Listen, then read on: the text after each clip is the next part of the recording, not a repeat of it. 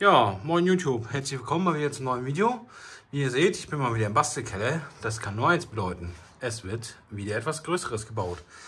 Und zwar geht es heute um die PS Sub 112 vom Plan Sound. Da habe ich mir gedacht, nachdem ich die Compact 4 gebaut habe, muss ich ja auch einen vernünftigen Bass dazu haben. So, und damit mache ich mich heute ans Werk. Ne? Für die Leute, die die Kiste nicht kennen, ähm, ja, Bestückung ist entweder 12280W von The Box, ein Sika S25, eine Watche SF, SSF 12250L und ein BMS 12305. Ja, die Abmessungen der Kiste sind, ja, hä, das stimmt doch nicht. 134 mal 134 mal 130 mm, das kann ja nicht stimmen. Also da muss entweder ist entweder ein Druckfehler oder oh. hm. komisch. Müssen wir noch mal gucken. Ich blende das sonst noch mal ein. Die ja, da muss auf jeden Fall ein Fehler sein.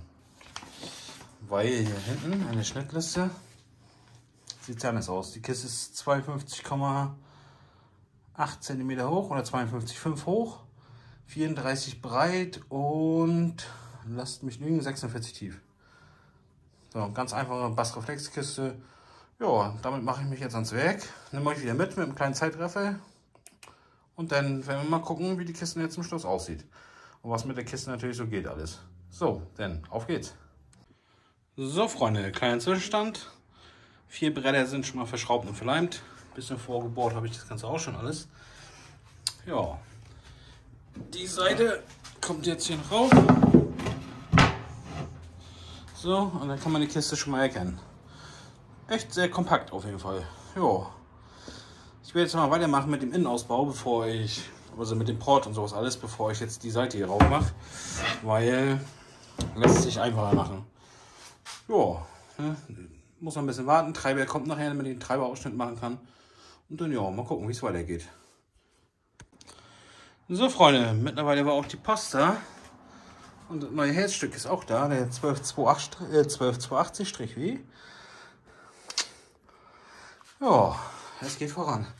Bisschen Warnex, das ist aber für die Compact 4. Mal gucken, wie weit ich denn bei dem Sub noch damit komme.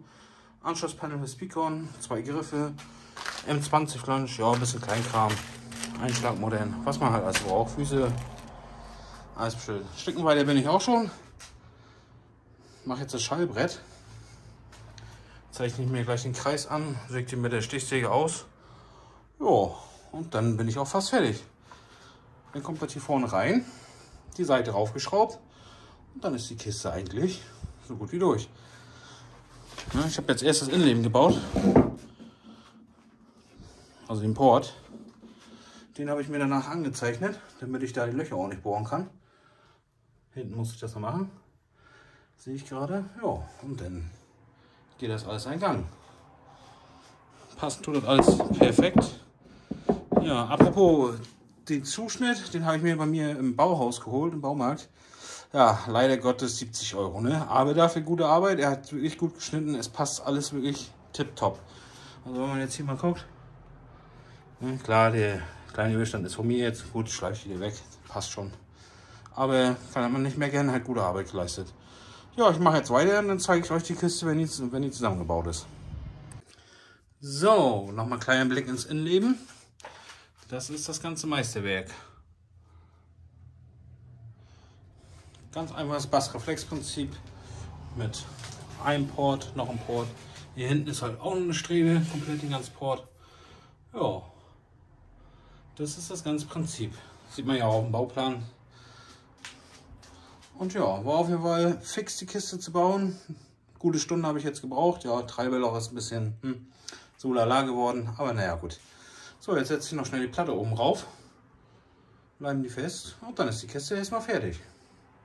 Dann kommen nachher Griffe. Da muss ich aber gucken, wo ich die Griffe hinmache.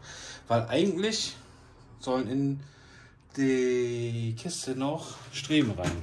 Und zwar, die haben wir hier noch.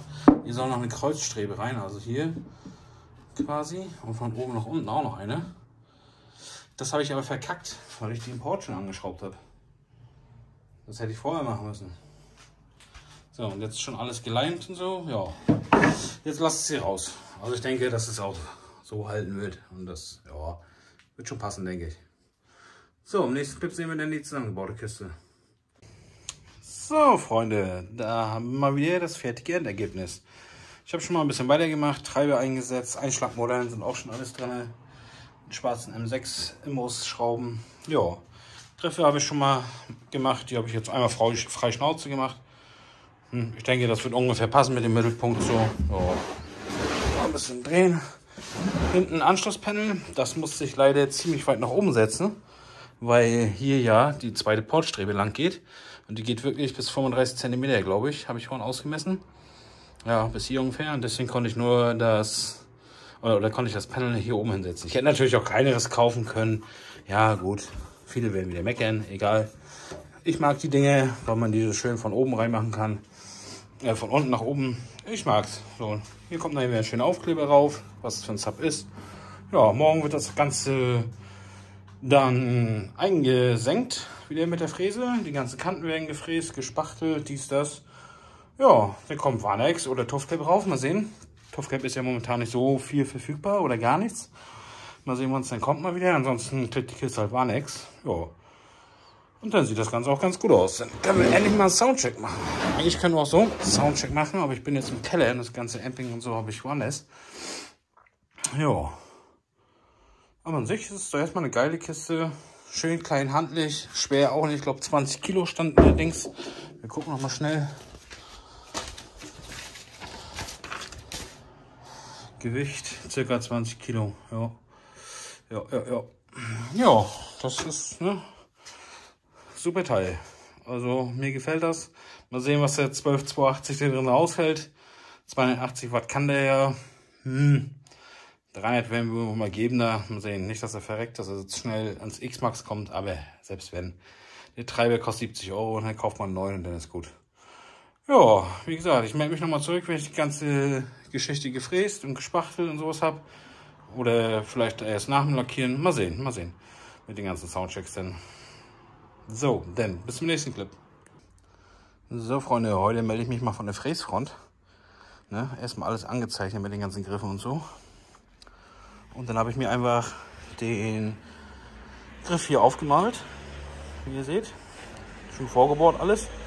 Und dann habe ich von der Außenkante Griff dahin den Abstand zu meiner Fräse genommen. Und das werde ich jetzt fräsen und dann wird das Ganze um 3 mm vertieft und dann sieht es auch echt gut aus.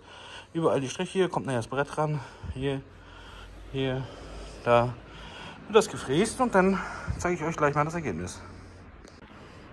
So, Ausschnitte sind eingelassen, 3 mm tief. Sieht wieder sehr gut aus. Jetzt habe ich die ganzen Kanten auch gleich mitgemacht mit mehr 6 Fräser wieder. Ja, jetzt wird das alles geschliffen. Dann wird gespachtelt, dann wird geschliffen, dann wird gespachtelt, dann geschliffen. Und dann sind wir auch irgendwo wieder am Ende. Gefällt mir jetzt schon ganz gut, die Kiste. Ja, der Treiberausschnitt ist natürlich nicht schön geworden, aber ja, ja, gut. Aber das wird.